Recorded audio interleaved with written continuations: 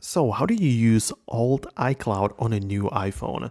So before we get into it, make sure you are subscribed to this channel so you don't miss videos like these in the future and let's get started.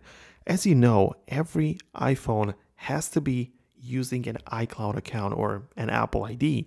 You need to use it to set up the iPhone and also to like download apps and sync everything so it's really necessary for the iPhone, right? But the thing is that you can only use one account in here. It's not like you can add new or like two of them.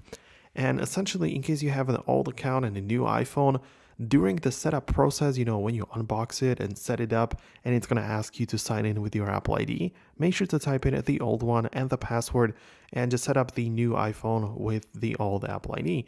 It's just going to be that simple, and it's actually recommended to do, to do it this way.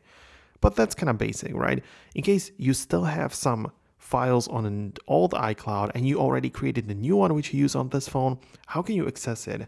Well, still, you're not going to be able to add it to the settings, but you what you will have the ability the ability to do is the, you know, opening up the Safari and going to iCloud.com, right?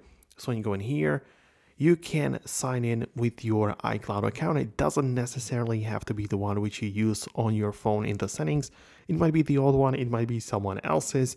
It's not really that important, but using this website, you can access all of the mail and photos and drive documents and other apps in here which are associated with that specific iCloud account. So keep that in mind.